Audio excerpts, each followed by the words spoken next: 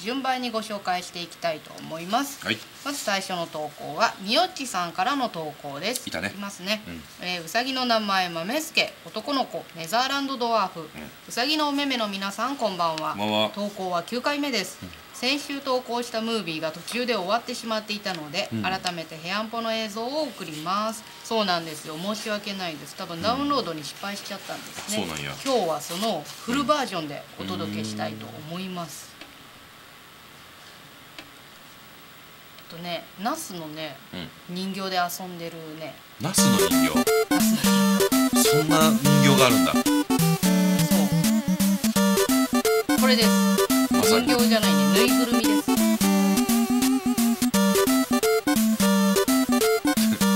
どこで言ってんすかね？あれストラップじゃないちょっと携帯が 先輩の携帯が鳴ったぞ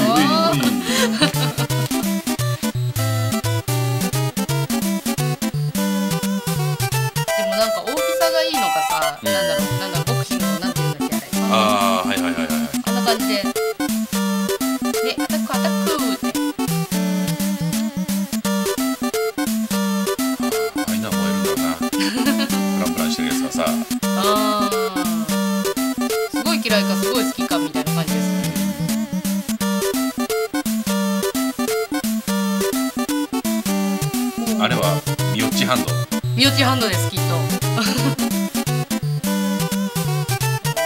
気になる。あこうやって逃げちゃったって。面白い。なすごいね。うんなんか犬みたいだうね、ん。あれナス以外にもあんのか どっちに気になってんすか？あミオチハンドですって。多分ミオチさんっぽい人がなあミオッチですこ ねなんか何ウサパンチ、うん。猫パンチみたいにれ、さ。うんやっぱじゃれるもんなんだね。慣れてるの？あれは。じゃれてるじゃない？攻撃してんの？攻撃っぽっぽいですけど。あそっか。はい。携帯切った？って。本当に切った。さ本当に。恐ろしいね。ちゃんとしてくださだいよね。はい。はい。ありがとうございます次の投稿いきたいと思います、はい。次は秋パンダさんからの投稿です、はい。えーうさぎの名前ジェフフィグ、えー性別2人とも男の子。うん。種類ネザーランドドワーフとアメリカンファジーロップ。うさぎのお目目の皆様こんばんは。本日は簡単投稿で失礼いたします、うん私はうさちゃんの爪切りされる時の困った顔が大好きです。そんな顔するんだ。土曜日に六本木のうさぎ専門店ミスバニーに爪切りに行った時のジェフ君とフィグちゃんの顔をご覧ください。悩ましい店やね。フィグちゃんの顔が敷物の模様と同化してよくわからないのですが、このお店では仕上げに電動ヤスリをかけてくださいますくださいます。六本木という土地柄もあり我が家ではもういいじゃない六本木という土地柄もあり我が家ではうん。六本木のネイルサロンと呼んでいます。うーん。最後のおまけ画像はうん。ブログやフェイスブックで好評だったフうん。ィグちゃんのヘッヘッドバンキングの様子です。横浜のバニーファミリーでチョコラビットさんのセーラーハーネスを買ったのでおー試着させたらうん。タッチして頭を振る行動を何度か繰り返していました。うん。何か意味があるのでしょうか、うん。相変わらずの不思議ちゃんです。ということで。セーラーで電動なところを耳にしまったわ あー。気に入ったんかね？あ本当だ同化してる。本当だ。ああれが電動ヤスリか。ええー、怖っ。うさぎの爪ってだってえってあるだけでし。ょあれやってくれる人もネイルやってる。本当だ。そういうこそういうことなの？でもうさぎ専門店なんだよね。とうん。電動ヤスリやった方が綺麗になるからってこと？困った顔なのかな？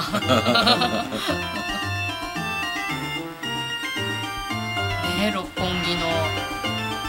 ネイルサロン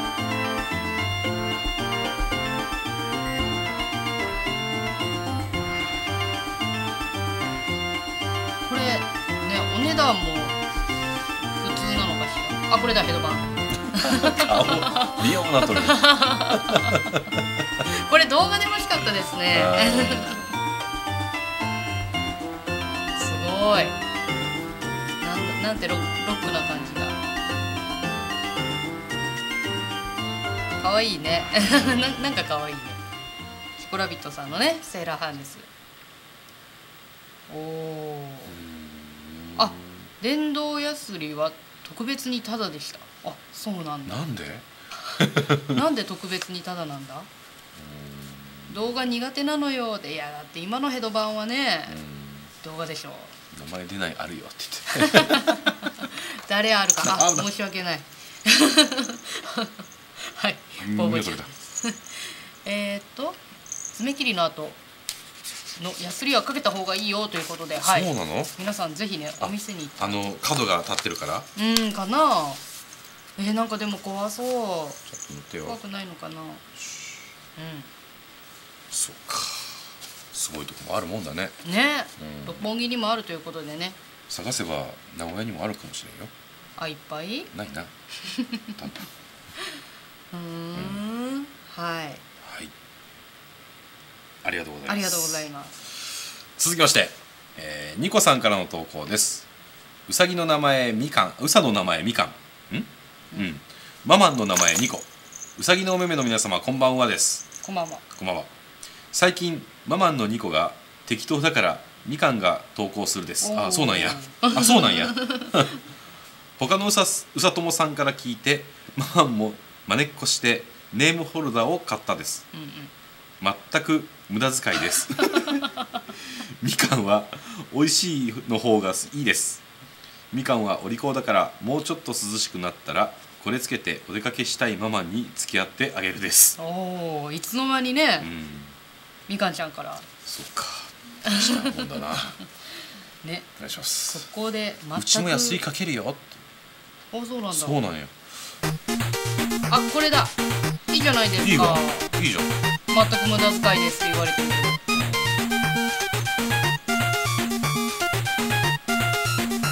いじゃんね。これ次トライおあっちにもネームプレートいいじゃんいいよね。でも美味しいのがいいです。肝にして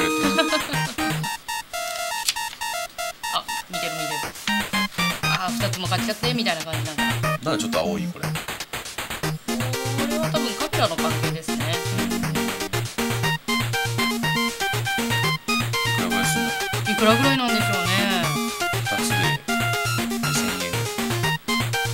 名前入ってたっけうん。オーダーメイドじゃない本当だ。プレートのカラーもみかんだった。あ俺言おうと思ったのに。本当かいな。あ全然気づいてなかったよお求めやすいお値段であ違う 違う人が答えたよ。涼しくなったらお出かけ これはどちらで購入したんでしょうね。ね。うん。その辺書いてくれないとね。ミスバニーではないと思うんですよ。えーっと小さいね。みかんちゃんは子うさぎですか？いや結構、うん。2歳かな、うん。3歳かな、うんそれぐらい。うん。それぐらいなんです。でもね小さいんですよね。こじんまりして可愛いんです。こじこじんまりしてます、うさもの屋さんです。あのひらがなでうさもので検索。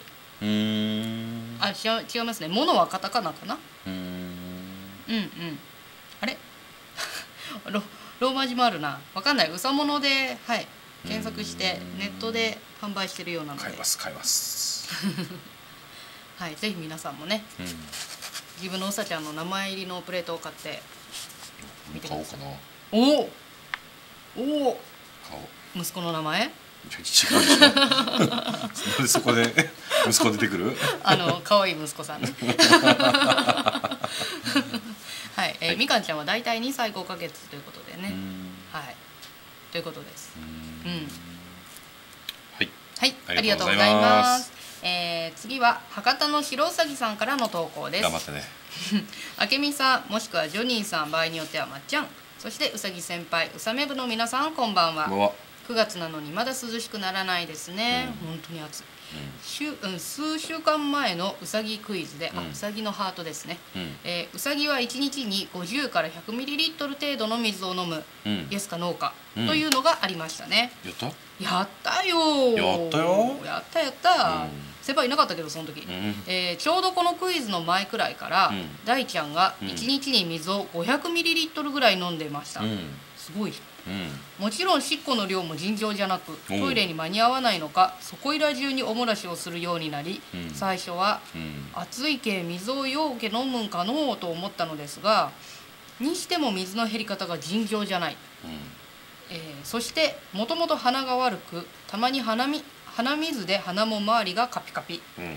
それがこの頃からひどいくしゃみで、うん。鼻も周りは鼻鼻の周りはぐちゃぐちゃ、うん手で鼻水を拭くのでしょう。お手手もカピカピ。最悪じゃん、うん。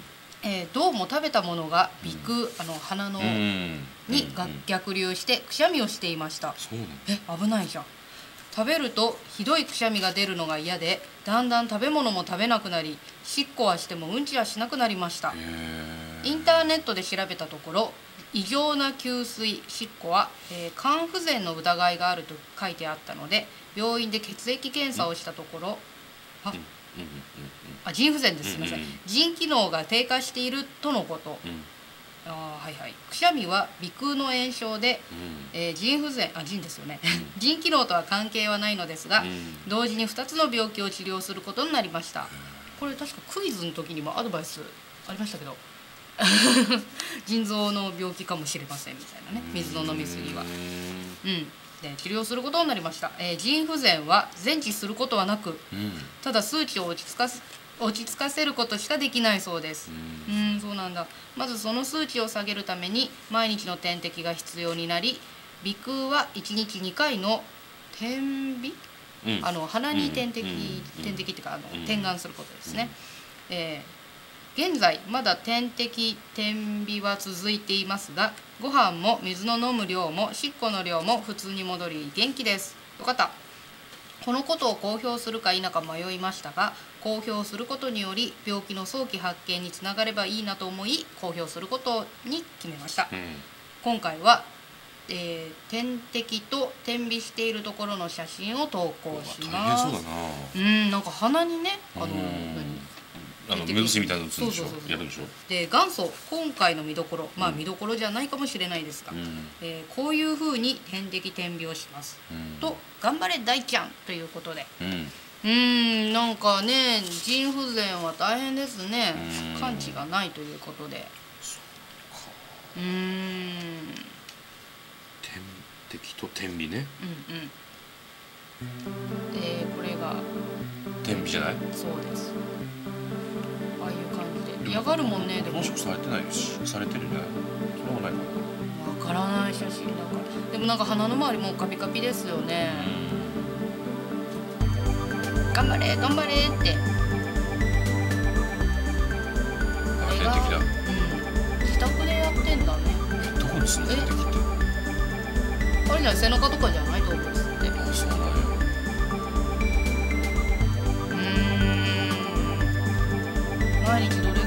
量かは分かりません。が大変そうですよね。うわあ本当だね。うーん。でも今はねもうなんだ一応元気になったっていうことで。大ちゃんでも結構年齢がねうん。今年なんですよね。5歳ぐらい。ああほらやっぱり背中ですよ。あそう完治はしないから定期的にしなかったこ毎日って書いてますと毎日するのこれからも。うん分かんないけど数値が下がれば大丈夫なんじゃないですかでもあえておとなしくしてるずっとしてなきゃいけないから大変ですよ結ね構なあれじゃん。なんか痛そうう